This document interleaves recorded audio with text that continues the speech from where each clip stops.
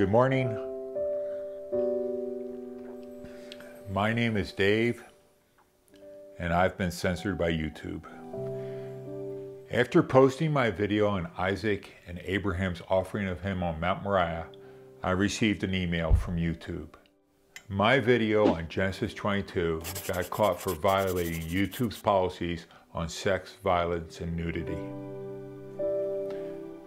Now, the big thing you need to realize is you only get three strikes on YouTube, and then your channel is removed from that platform. Luckily, they didn't count this as a violation of their policy this time. They did remove the video from YouTube though, but they allowed me to appeal their decision.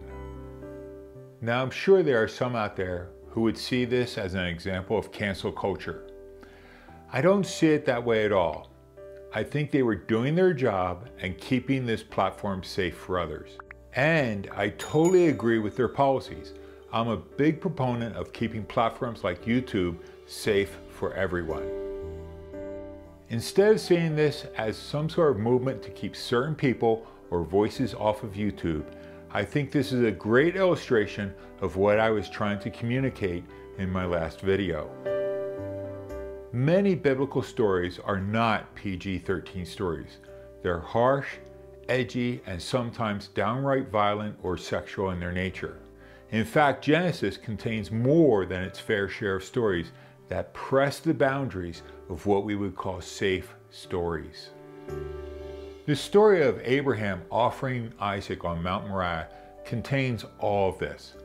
You have Abraham and Sarah's sexual abuse of their slave Hagar. I know that some would argue that this was all part of the culture that day, but really, Hagar was most likely a young woman, and we know that Abraham was very old when Sarah suggested, hey, why don't we use Hagar sexually to have a baby by her? And I don't think Hagar was thinking, oh, cool, I get to have sex with this old guy. And I'm sure that she did not willingly consent to this. In fact, immediately after this, we're told that she despised Sarah. She tried to flee from them because Sarah was mistreating her. And finally, Sarah and Abraham send her and her child away after Isaac is born. And we haven't even gotten to the offering of Isaac on Mount Moriah yet. When God demands a sacrifice from Abraham, and let's see if I can say this without raising any alarm bells on the YouTube side again. But this really is a very brutal story. God demands that Abraham take his only, his beloved son, and sacrifice him on a mountain.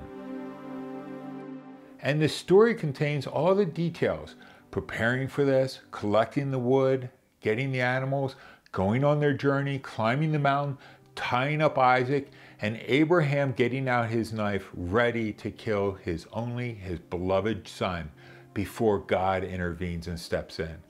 Almost every aspect of this story violates YouTube's policies in some way, shape, form, or manner. And it should rattle your moral compass as well.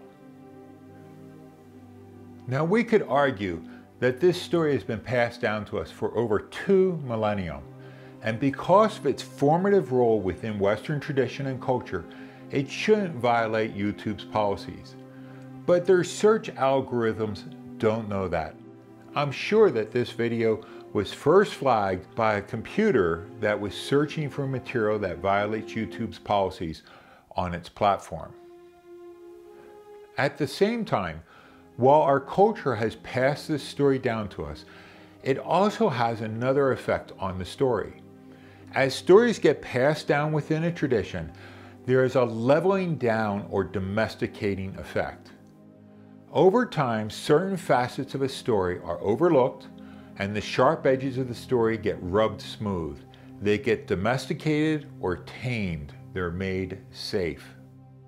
And one of the goals of biblical interpretation is to recapture those edges, to de-domesticate them, to turn the house dog back into a wolf.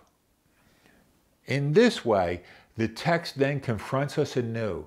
It challenges us, it scares us, it makes demands on what we think, what we do, and how we live our lives.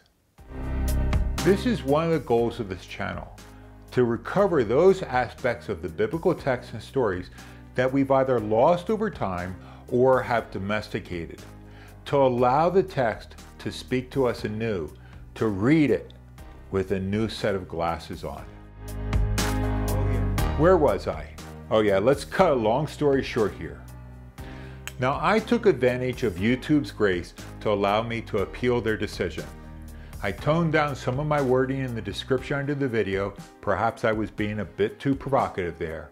And after review, they agreed that my video did not violate their policies, so Abraham's sacrifice of Isaac is back up on YouTube again.